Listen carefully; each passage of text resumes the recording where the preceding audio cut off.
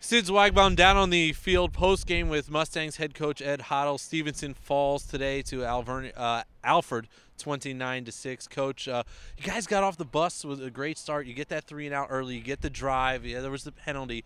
Um, it, it, just seemed like. Where do you think this game turned the other way uh, against you guys? Well, I think there was you know the, the exchange there late in the second second quarter. Um, you know. It, it's one of those things where we kept having to adjust and adjust and adjust and adjust and adjust. And you know, with a young football team, particularly on defense, you know that's that's a tough thing to do. You know, Corey's seen it and just about seen everything at this point. Um, but having to, to continually adjust and, and, look, they did a nice job being very physical at the point of attack. Did a nice job getting an extra blocker at the point of attack. And you know, we worked and worked and worked, and you know, we'd solve it and they'd adjust. So you know, it was one of those things where you, you know we just have to be better, and, and part of that process is, is getting older.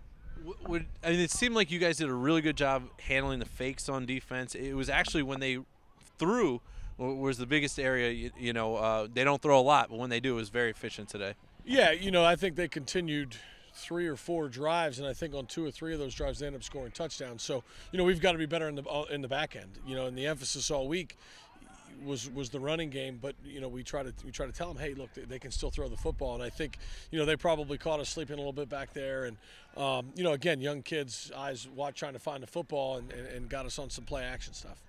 Uh, what was it like down on the field? I, I, mentioned how windy it was before the game. Obviously, I'm I'm not down here in the wind. What was it like for you guys trying to throw so much with the wind? I, it was breezy, you know, but but again, you know, both teams got to play in the wind. So, you know, they, they picked their spots and came up big. And, um, you, you, know, I think it was something we were aware of, trying to limit the big shots, you know, into the wind. And, um, you know, so it's just one of those things. We, we've got to be, be able to overcome that. Coach, you guys finished six and five. Uh, you were six and three in conference play this year. How, how do you sum up the season?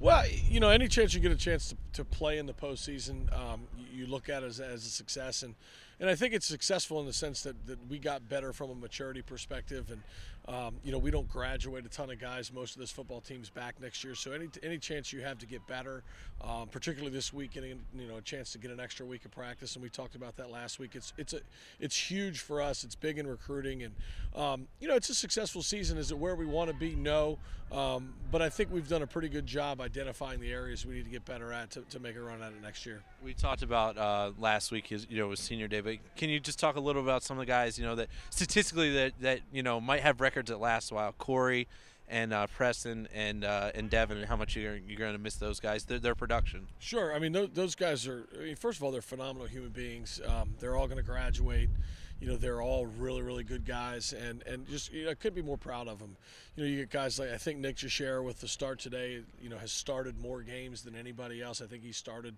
you know 43 I think 42 was the was the record or it was 41 or 42 whatever it was.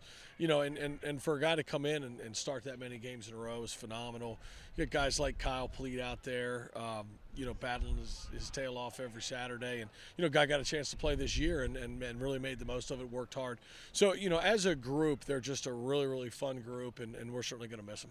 All right, Coach. Well, thanks a lot. Didn't end the way you guys wanted to, but there's next season. That's it.